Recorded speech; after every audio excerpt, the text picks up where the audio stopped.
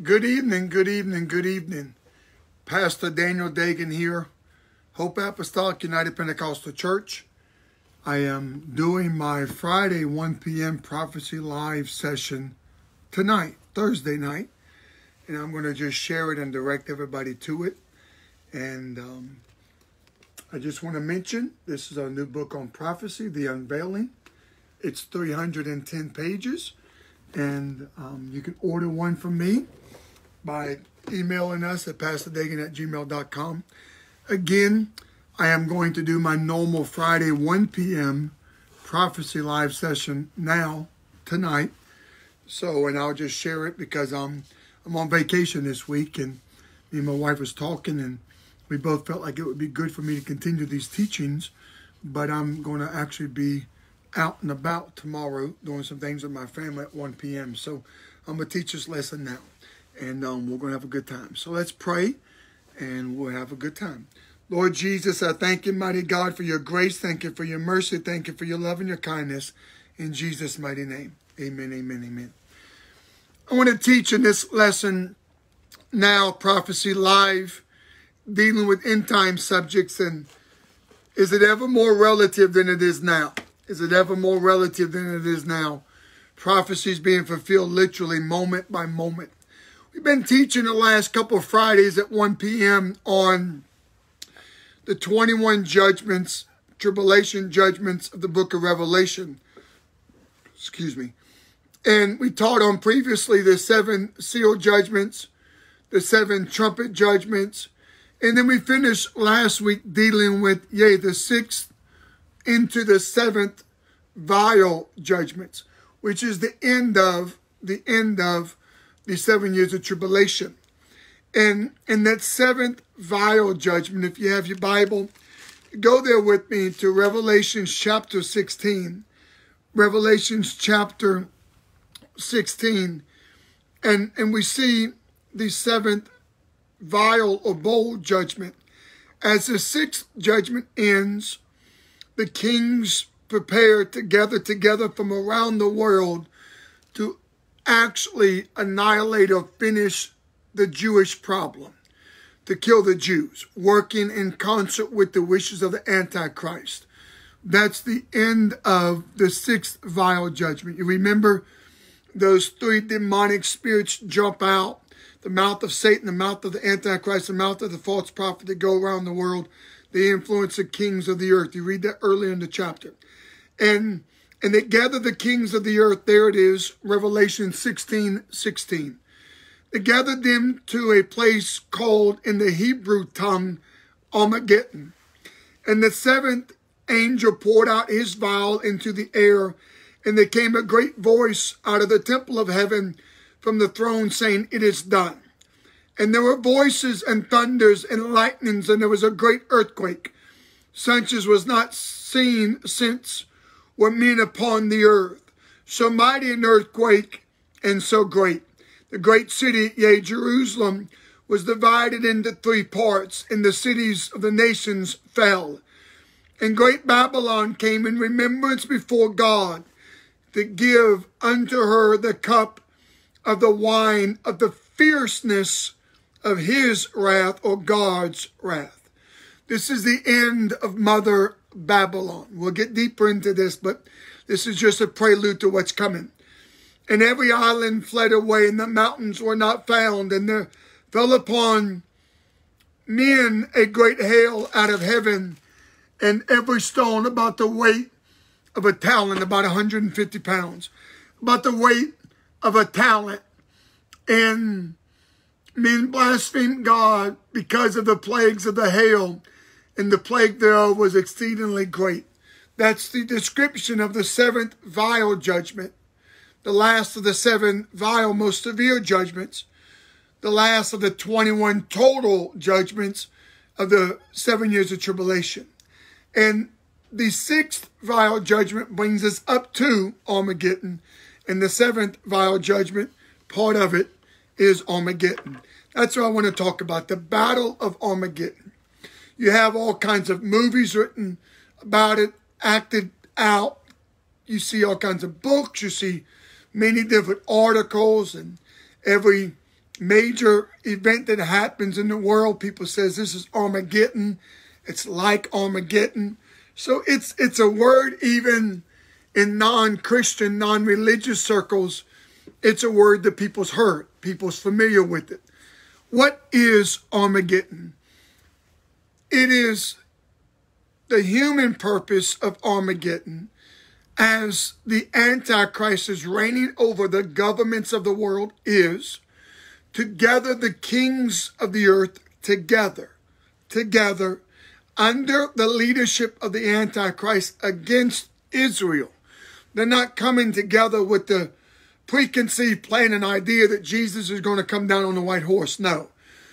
Armageddon, what, what allows the kings of the earth to come together and to be in a place where Jesus can come back on the white horse to Armageddon, to absolutely destroy the Antichrist. What brings the kings together of the earth in allegiance to and in support of the Antichrist at the end of the closing days of the seven years of tribulation is the Antichrist's plan and plot to destroy Israel, to destroy the Jews.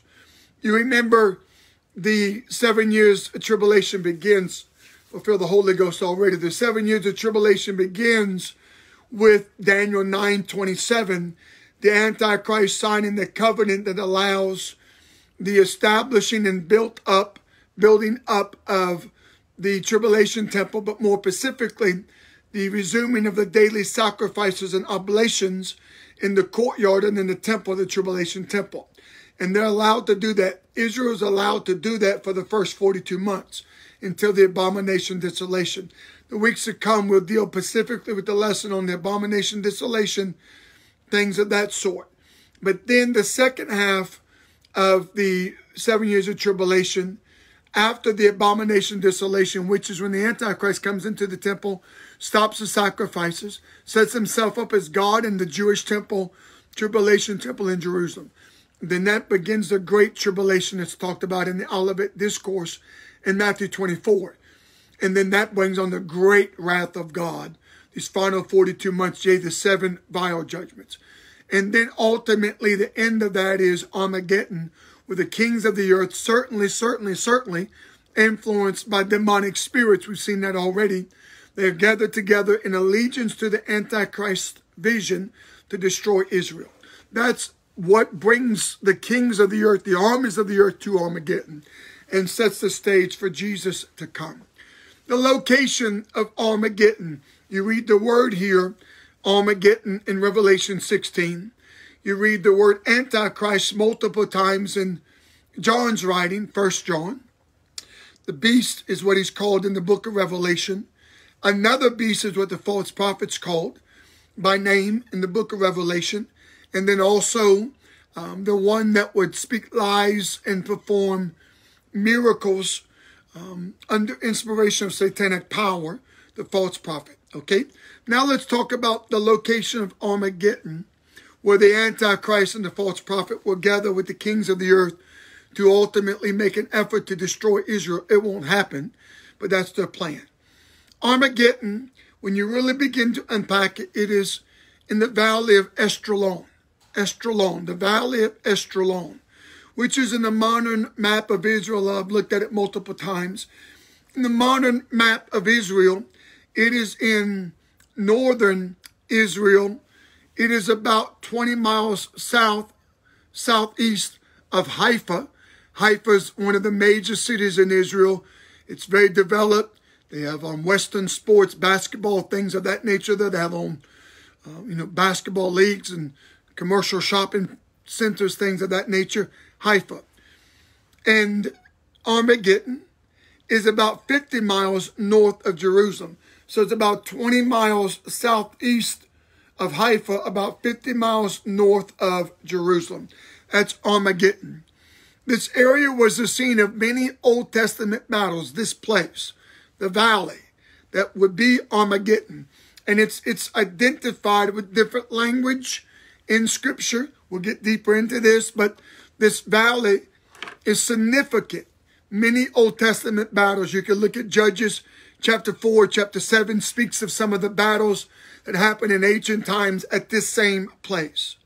Napoleon, you remember, Napoleon Bonaparte, Napoleon called this the greatest place to wage battle just because of the geographical layout and the elements of it. Perhaps that's what that's what the Antichrist has in mind. He doesn't know he's walking to his death. He's walking, he's marching to his death, to his ultimate end. The Mediterranean Sea is off the coast of Israel, of course. It's look at the map. It's a major body of water just to the to the um, far west of Israel, and Egypt is to the southwest, and Jordan is to the southeast. And as you see off um, to the southwest of Israel is Egypt. It's Egypt, and and then you you begin to read a bit more there as we've studied last week in Revelation 16, the significance in verse 12 to 15 of the river Euphrates. You've seen this as well in one of the previous trumpet judgments. You remember if you was with me when we studied that. The rivers Euphrates, um, as you begin to study it, the rivers Euphrates is surrounded by Turkey, Syria, Iraq, and Iran and the rivers Euphrates is mentioned in the breath that Armageddon is mentioned in Revelation 16. So that puts you in the region of the world, of course, Israel, but right there more specifically, just 50 miles north of Jerusalem, 20 miles or so south, southeast of Haifa, right there in that region is where Armageddon is going to be at.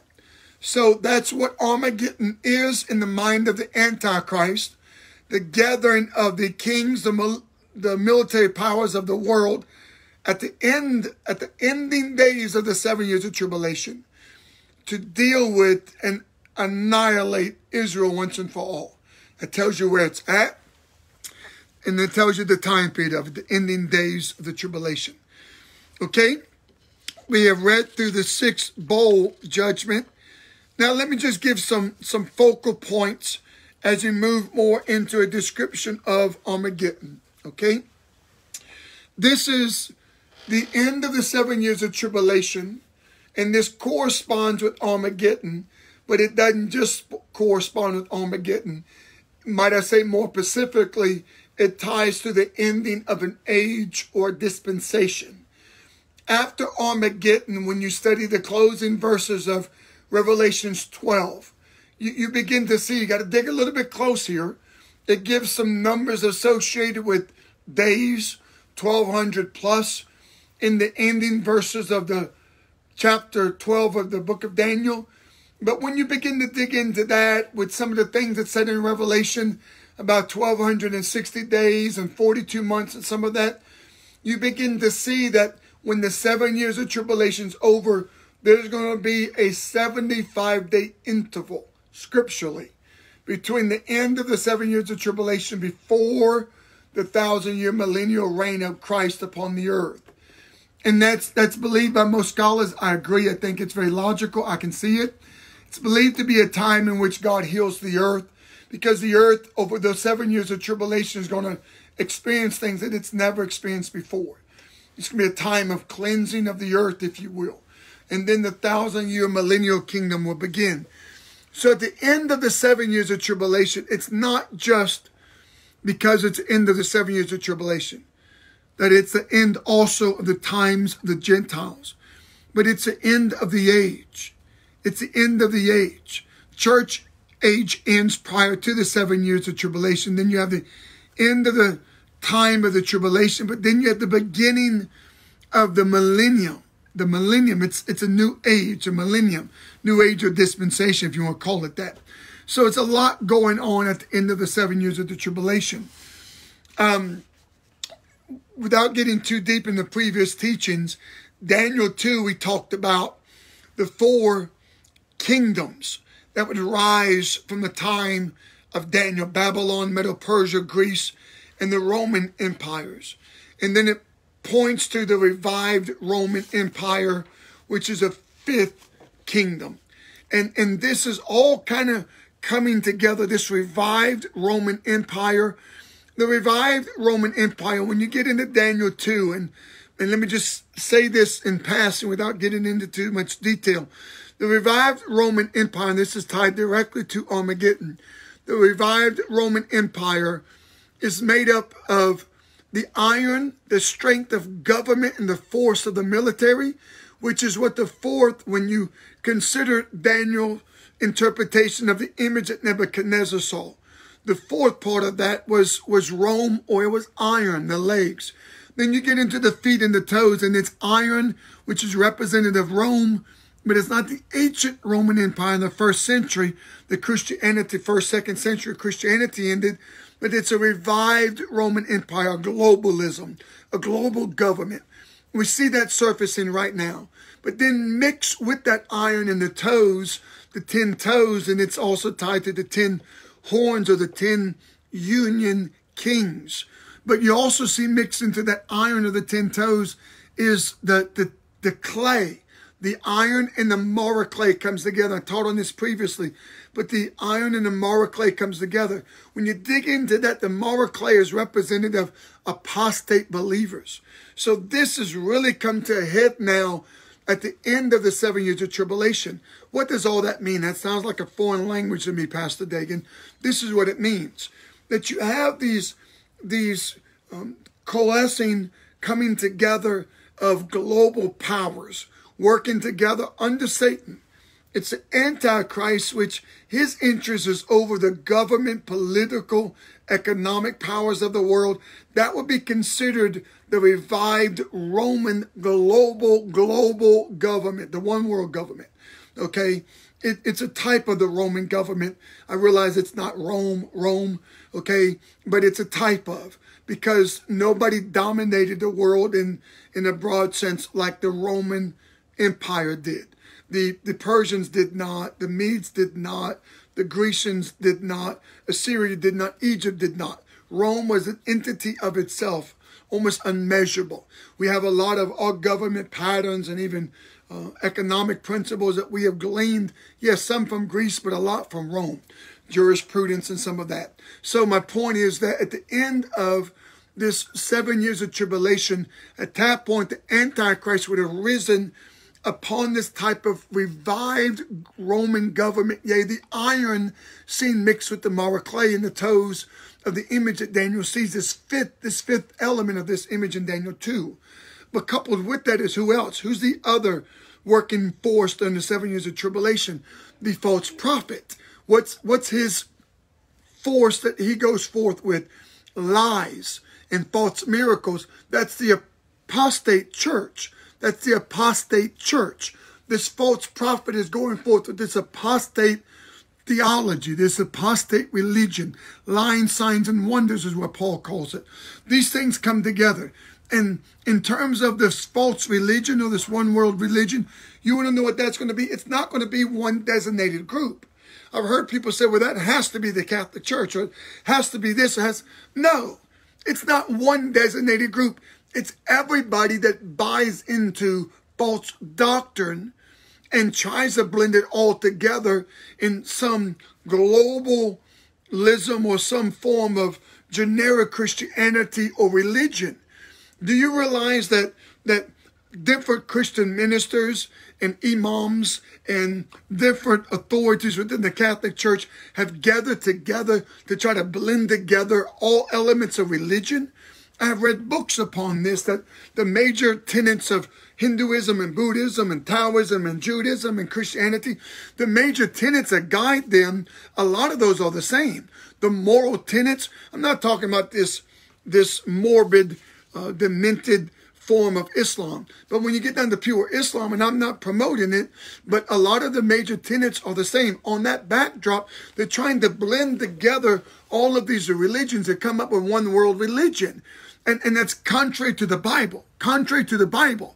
But that Mara Clay apostate church, a form of godliness but denying the power, that is what they'll see at that time in which it kind of comes together, coalesces together between the revived Roman Empire, global dominance, Antichrist leading that, and working under with him is a false prophet with this generic religion that that as as one modern current religion that has a church right behind us a few blocks away, they say there's many paths but it leads to the same place. To each his own. Come on, we welcome everybody.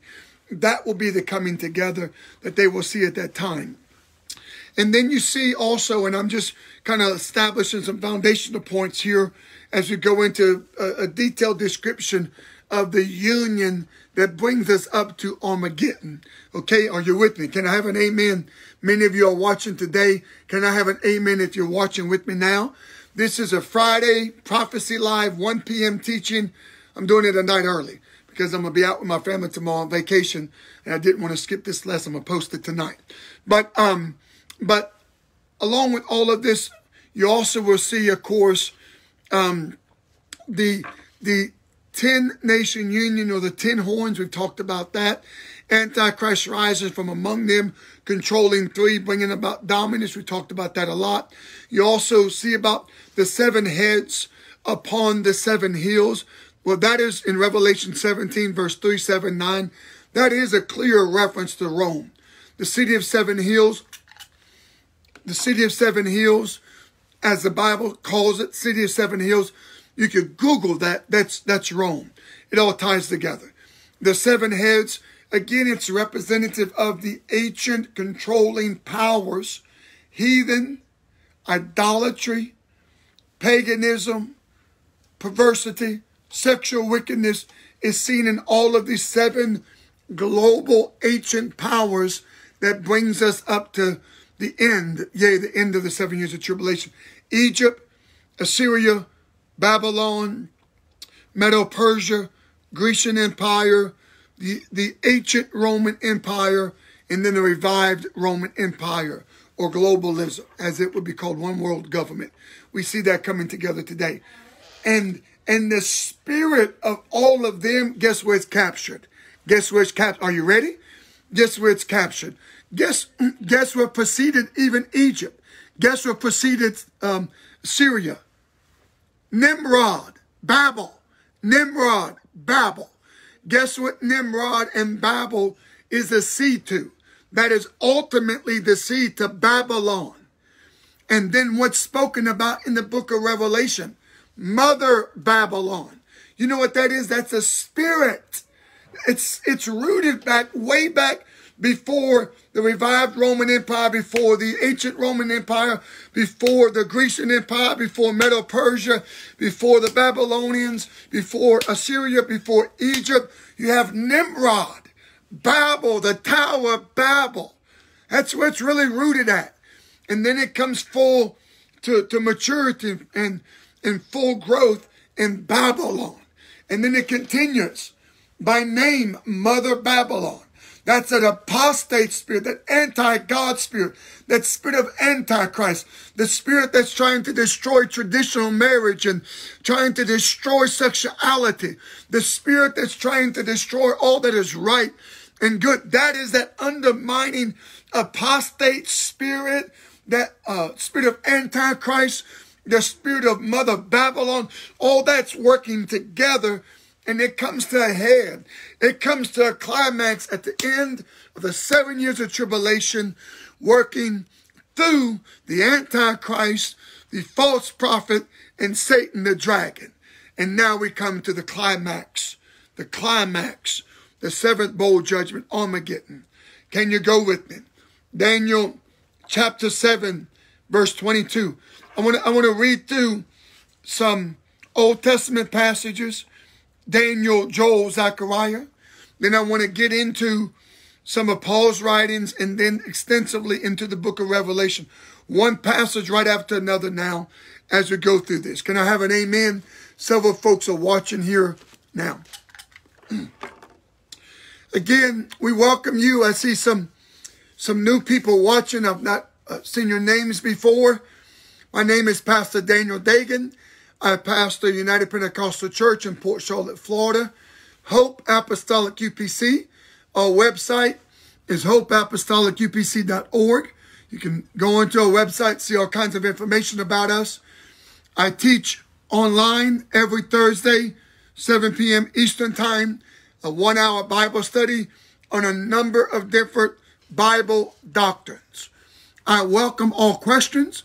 I don't answer questions on the feed while I'm teaching just because it breaks the fluidity of teaching and the flow of the Spirit. But you can email me, pastordagan at gmail.com. If you want to fuss and cuss, I don't respond. I'm not your guy. But if you want to send me a legitimate email, and I will respond to that. I do it all the time. If you attend an apostolic church, ask your pastor before you email me. I'll be glad to respond to you uh, in such a manner. And, and then from there, every Friday at 1 p.m., I teach what I call Prophecy Live. And I have a passion, end Time Prophecy. This is our latest book, The Unveiling, A Study Guide of End Time Prophecy. It's 310 pages long, and it's copyrighted with an ISBN number done professionally. Um, it covers uh, the basics, the overview of end time prophecy. I'm a very strong pre tribulation rapture teacher. I think anything else is false doctrine. I, of course, don't equate that position, the importance of agreeing on that, to Acts 2.38. Acts 2.38 says salvation. But I'm a very strong pre-tribulation rapture teacher. The Bible does not work if you don't take that position. And, and, I, and I invite all questions and all dialogue. It doesn't matter who they are. I'm not, I'm not boasting and I'm not fussing and cussing. But if somebody has a question, send it to me and I welcome it. Okay, that's not a boastful, arrogant statement. It's a very honest statement. But um, we teach on Fridays, one o'clock Eastern Time, same Facebook page, dealing with end time prophecy. I'm on vacation this week, so I'm doing it tonight, posting it because I'll be out with my family tomorrow with the holiday weekend. But I wanted to teach this lesson. With that being said, we're going to continue teaching on Armageddon. And I'm going to ask you to go with me to the book of Daniel. As we go to the book of Daniel, chapter 7. Um, I could teach extensively, background, lead up to these different passages and verses. I'm not saying that boastfully. I'm just saying it as a point of fact. But, but I don't want to get into a lot of detail in each verse because I have a lot to cover. Okay? But Daniel 7, 22, we begin to paint a picture of what Armageddon will look like. Again, I've already said Armageddon in terms of the Antichrist from his perspective he will gather together the kings of the earth as the demonic spirits, Revelation 16 goes out, draws the kings of the earth to the Antichrist, to this battle, to ultimately in the Antichrist's mind, it will be to destroy Israel. That won't happen. Jesus, of course, steps in, a great victor. But but but that's what's going on in the mind of the Antichrist. With that being said, let's read. Daniel 7, 22. This is um, when you when you begin to read through this. This speaks of how the Ancient of Days comes. It's very much the end pitch of the Antichrist through what Jesus does. Okay? It says in Daniel 7 22, the Antichrist will make war with the saints and prevail against them until Daniel 7 22. The Ancient of Days, that's Jesus Christ, comes and judgment was given to the saints of the Most High. And the time came that the saints possessed the kingdom. So that's a reference of Jesus Christ coming. Stay with me. We're going to build the doctrine right now. Just imagine that you're standing in air and you're, you're trying to build a doctrinal floor under you concerning Jesus coming to Armageddon. We're doing that right now. We just laid the first brick down.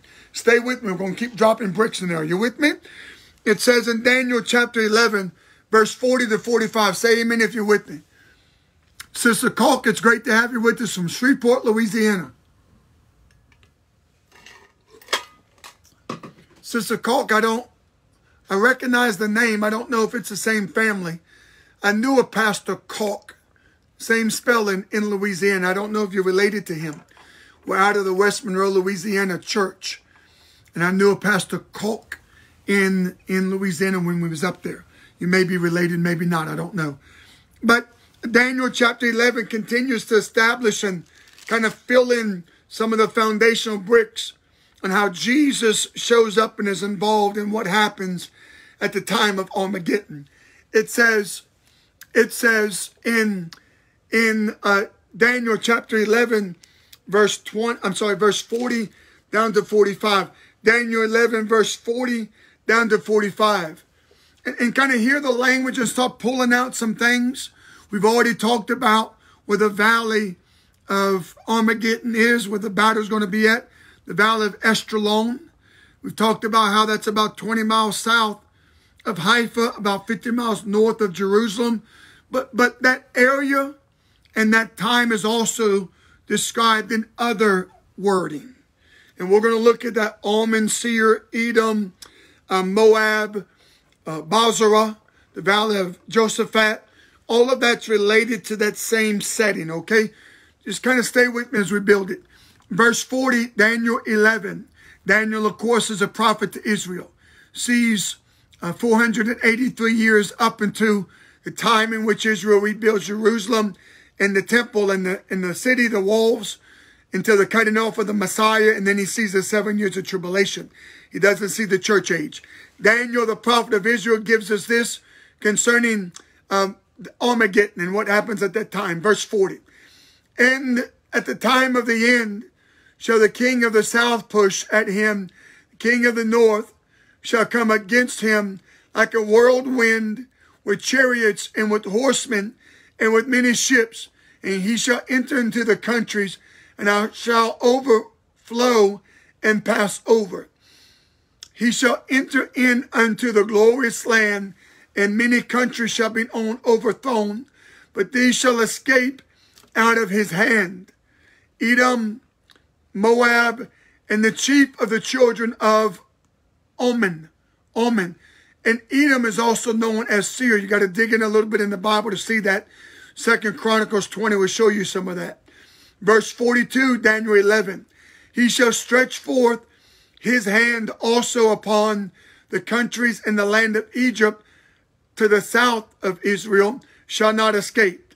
But he shall have power over the treasures of gold and of silver and over the precious things of Egypt and Libya and the Ethiopians shall be at his step.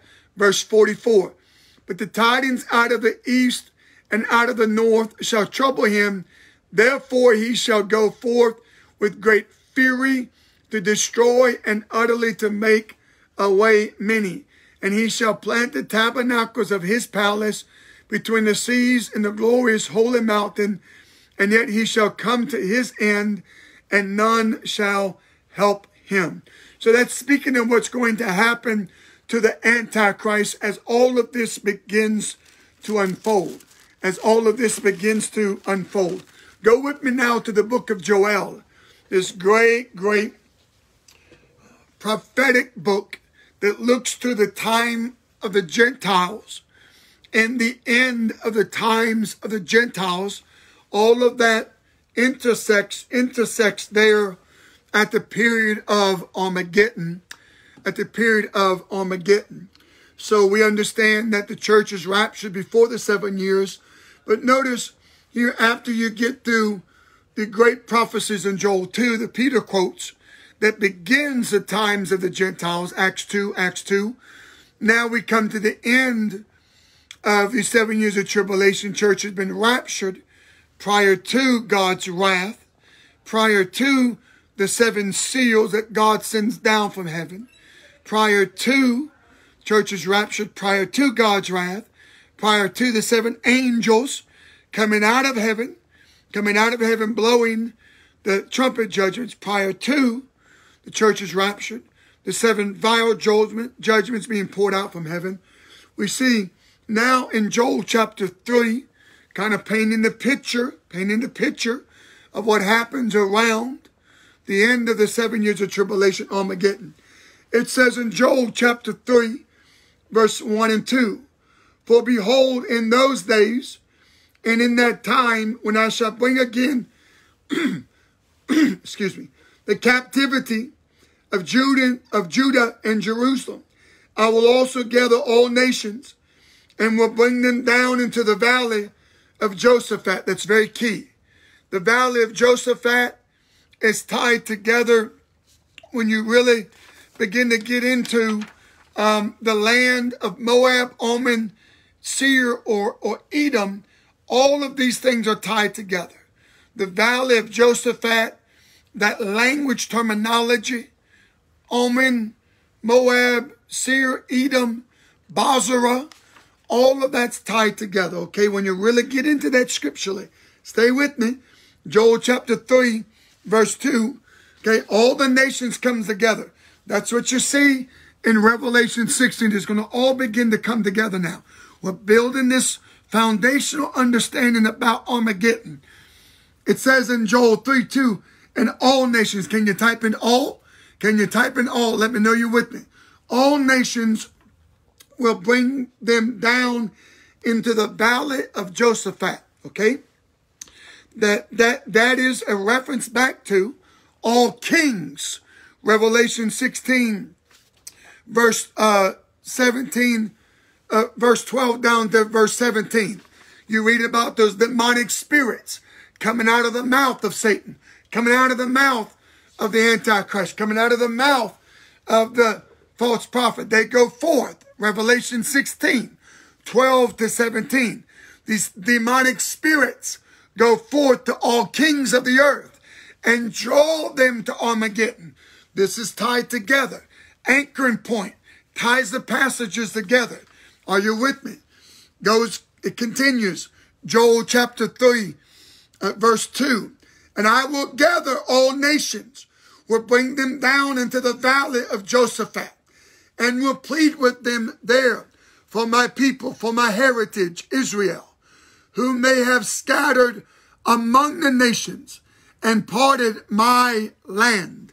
So there, Israel has been scattered, but up into the time of the millennium, Israel will regather. The Hebrews will regather.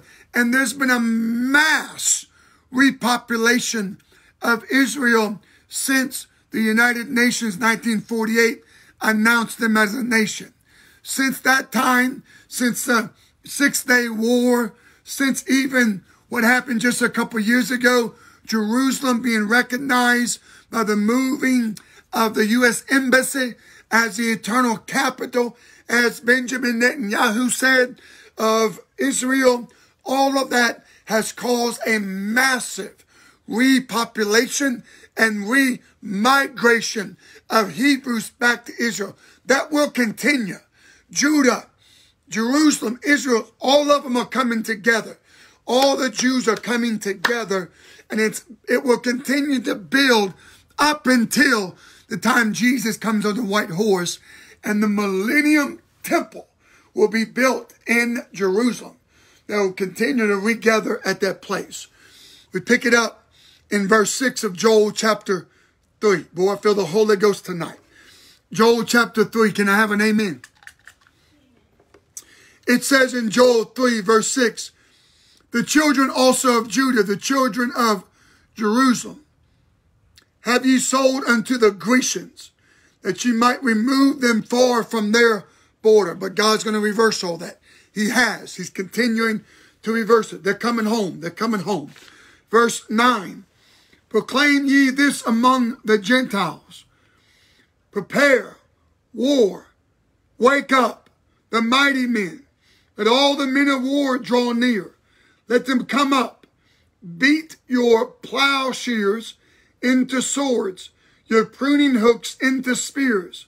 Let the weak say, I am strong. Assemble yourselves.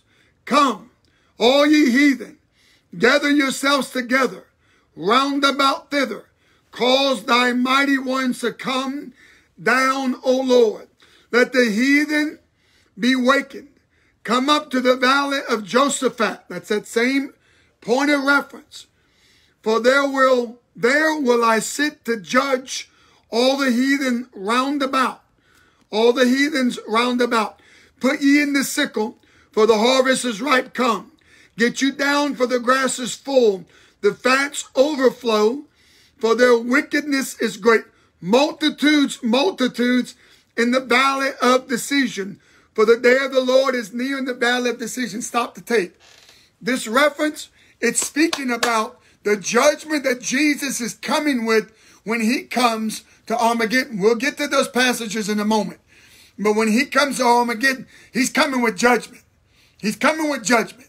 He's coming not to just pronounce the final and eternal judgment upon the Antichrist and the false prophet, but he's also coming to pronounce judgment on the nations that will not serve him, that will not serve him.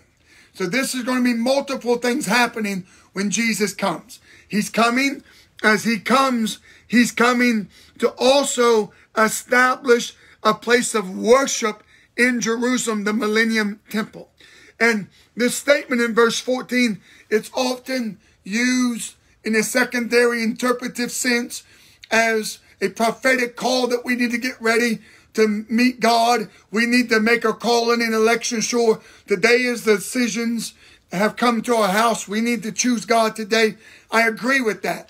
But that's not really the primary focal point of Joel 3.14. Joel 3.14, when it says multitudes, multitudes in the valley of decision, dig into that statement.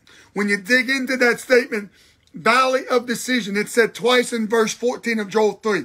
It is a reference to an indeterminate place, uncertain measurement. It goes back to the reference of the valley of Josaphat earlier in the chapter in verse 2 and then and then um, coming up in verse 12 we've seen it as well so all that points to valley of decision valley of decision valley of josaphat all that points to armageddon that parcel of land armageddon that's what it's pointing to. Prophetically, symbolically, it's pointing to that.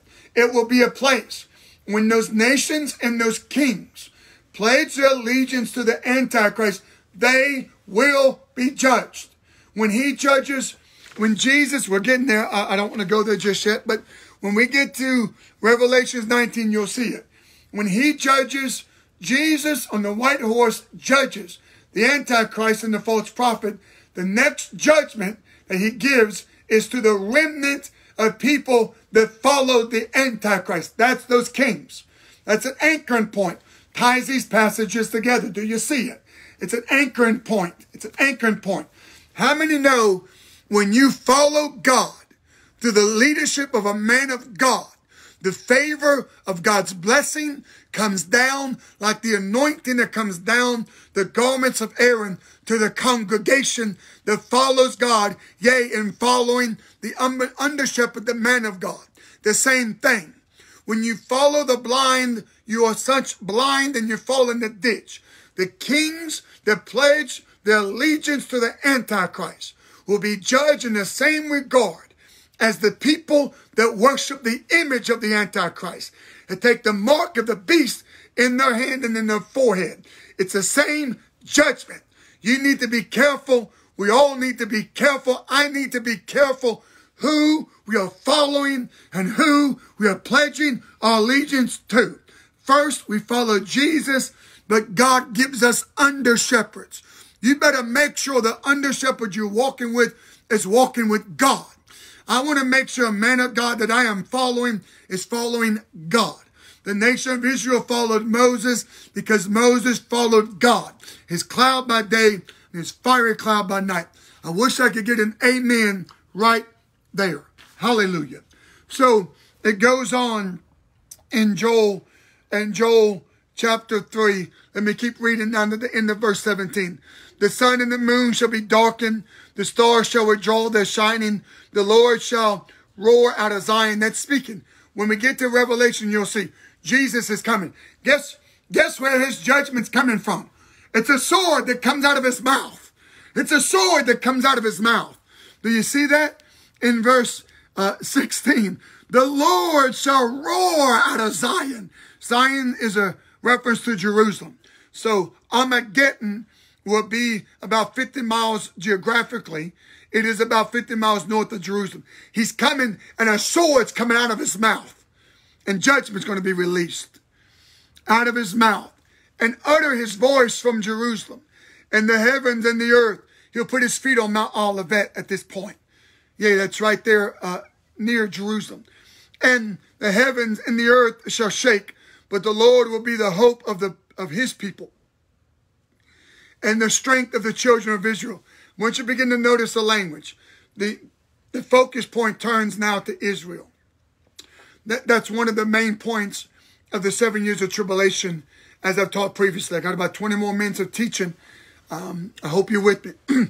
but one of the main focal points of the seven years of tribulation is certainly for God to pour out his wrath upon unrepentant, sinful people.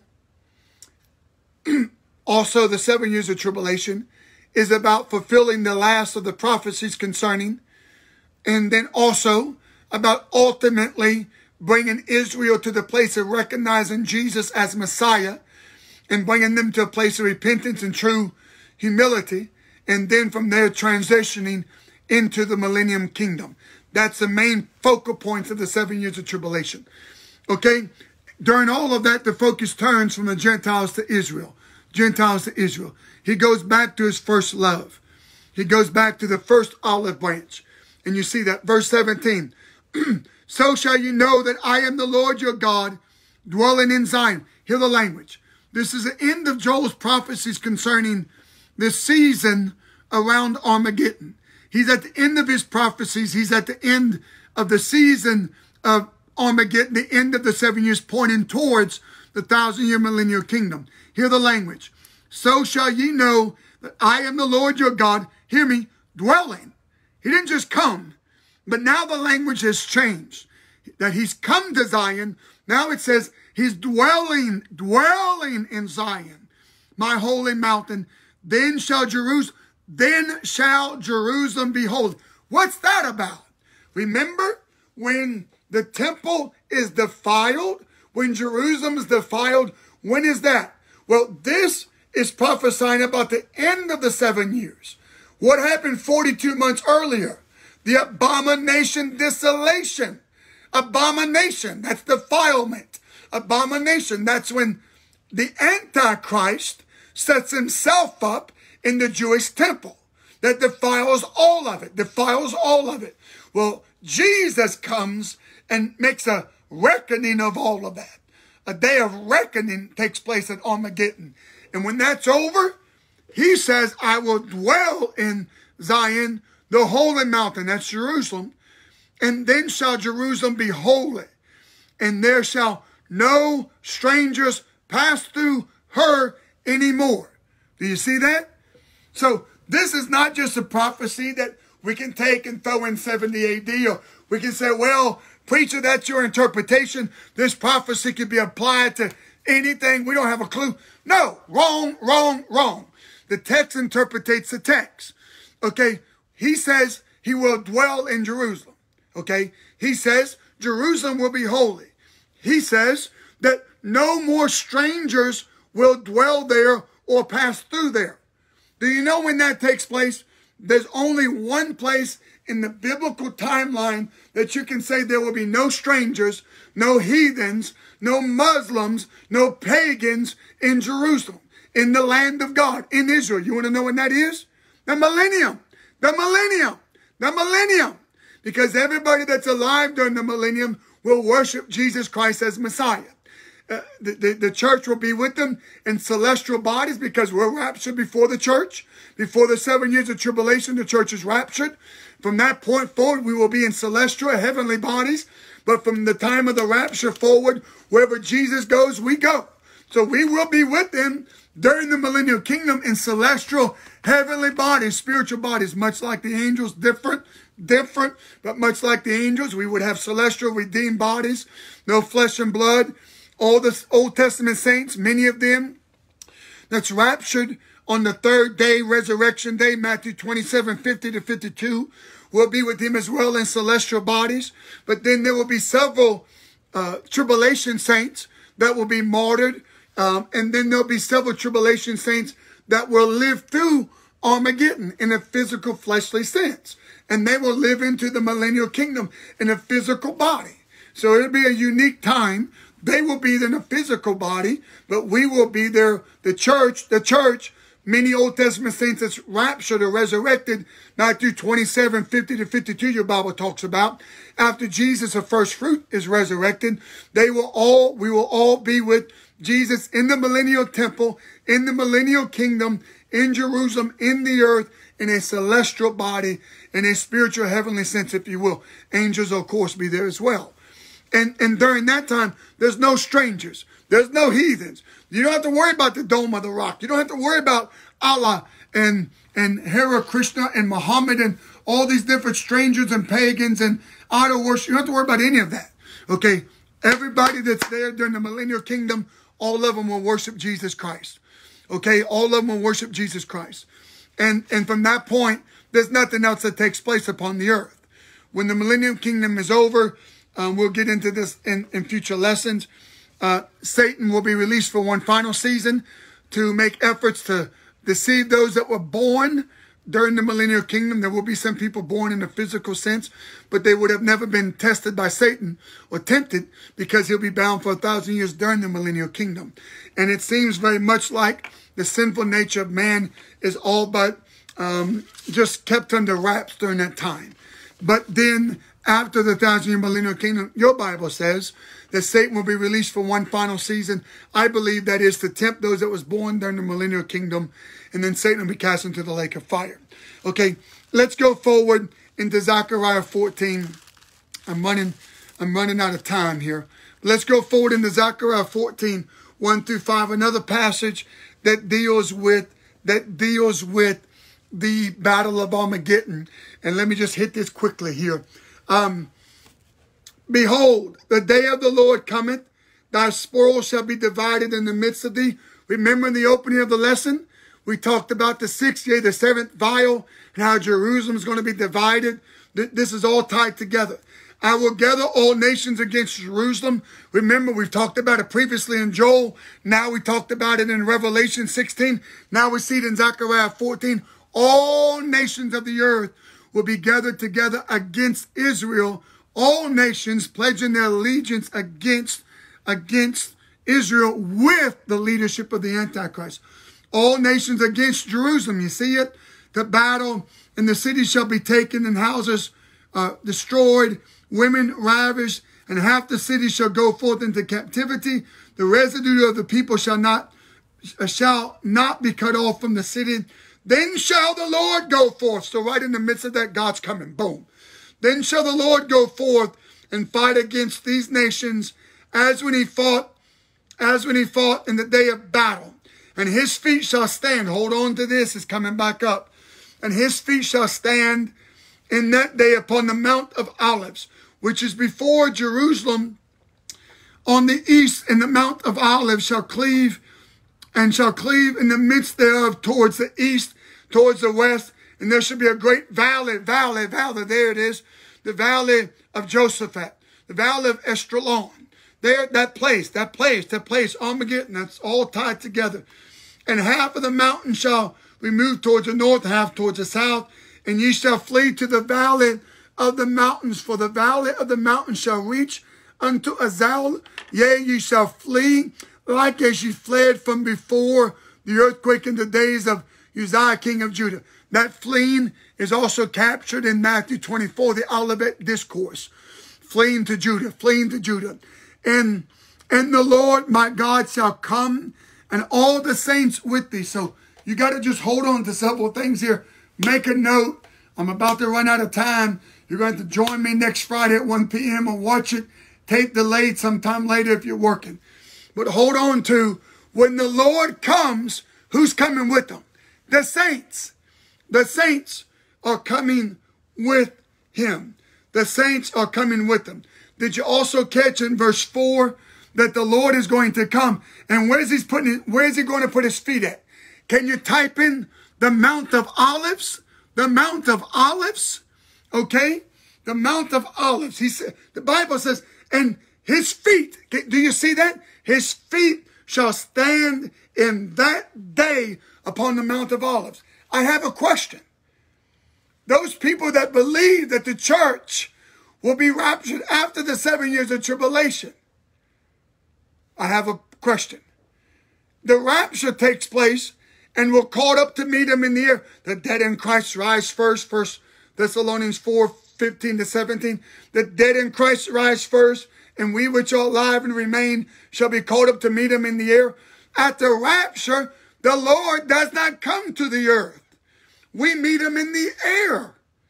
But at the second coming or the glorious appearing, I'll get into this deeper next week at the second coming or the glorious appearing when he returns for Armageddon. That's identified as the second coming. It's identified as a glorious appearing. That's different than the rapture. Two different events. Rapture before the seven years, we go to him, meet him in the air. Second coming, glorious appearing at the end of the seven years, Armageddon, he comes to the earth, puts his feet on the earth. Does that sound familiar? Jesus standing on the Mount of Olives, does that sound familiar? Yes, it does. Remember when Jesus was delivering the Great Commission? Matthew 28, Mark 16, Luke 24, Acts 1. He takes them out as far as the Mount of Olives, Acts 1, 10 to 12. He takes them out as far as the Mount of Olives, and they're standing there gazing at the Mount of Olives, the Bible says and there's an angel speaking to him in the same place where he goes up, he comes back down. The angel says the same place where you see him leave, he's coming back to. When's that fulfilled? Here, at the end of the seven years, when he comes, glory's appearing. Second coming, Titus 2.13, he comes to Armageddon. Well, one of the things that takes place is, in the midst of that, his return, is he puts his feet on the Mount of olives. I wish I could get a good amen from somebody. Second Thessalonians, let me just get you into the New Testament. I can feel your appetite. You're fading on me. I'm fading. My voice is fading. It's late in the night. I'm on vacation. Hallelujah. Second Thessalonians chapter 2, verse 8. Give me an amen if you got another minute. Second Thessalonians chapter 2, verse 8. You got another minute. Can I get an amen? So Second Thessalonians 2, I taught several weeks ago, Friday 1 p.m. I've been teaching Friday 1 p.m. on end time prophecy since the middle of March. This, because I'm going to be on vacation tomorrow, I'm doing it tonight. Previous to this, I've done every single one of them Friday 1 p.m. Eastern Time, same Facebook page.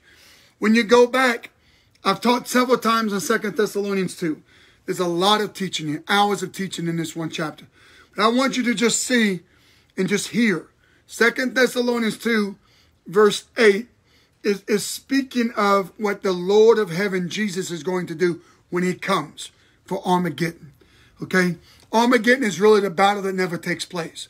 In terms of Jesus and the saints on the white horses engaging in some type of combat with the Antichrist and his army, it's a battle that never takes place.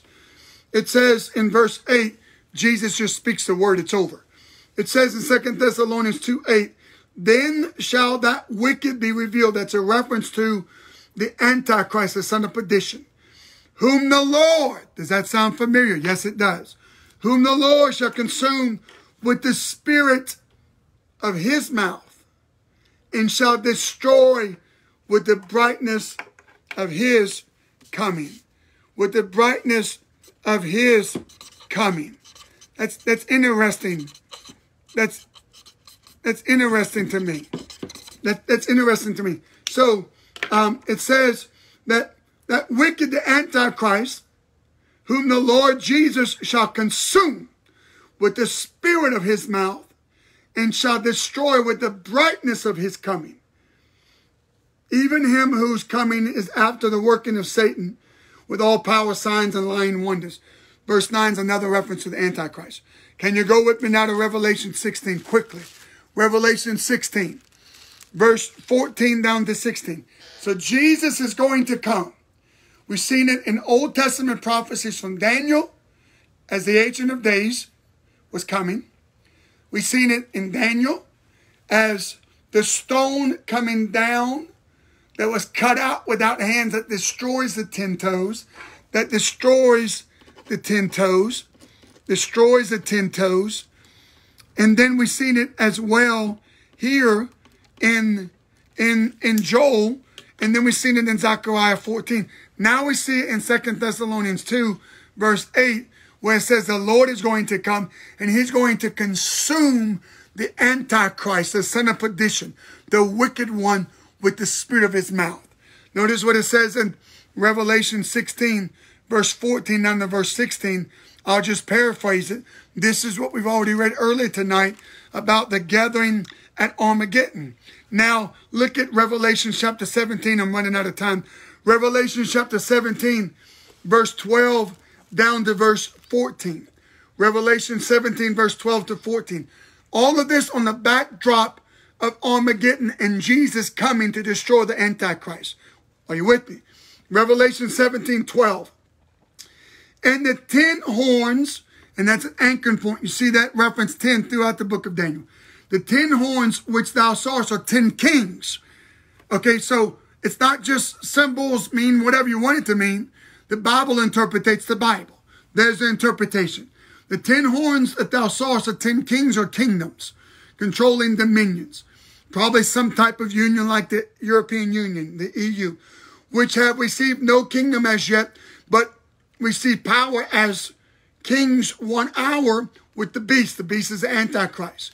These have one mind and shall give their power and strength to the beast. So they work in union, union, union. They have one mind, one mind, like at the Tower of Babel. One mind, they shall do what they imagine to do. They work in agreement under with the strength, the leadership of the beast, the Antichrist. Then, verse 14, then shall then these shall make war with the lamb. That's the mistake. With the lamb, and the lamb shall overcome them, for he is the Lord of lords, King of kings, and they that are with him are called the chosen and the faithful. The chosen and the faithful. So there's a reference to Armageddon. They make war. These 10 dominant global kings and others make war with the Antichrist against Jesus Christ the Lamb. It's interesting to me as we go to the last passage tonight. I'll stop. Uh, Revelations 19, 11 down. Uh, this is the last passage and I'll stop. Okay? This is the end of Armageddon in terms of the battle. I'll give you some more information next week. But this is the end of Armageddon in terms of the battle. This is it. Okay? It's interesting to me that that the picture is painted in Revelation 17, lamb. I have a question. Why is that? Why in that reference is he seen the great victor that destroys the Antichrist in his reign and his and his armies?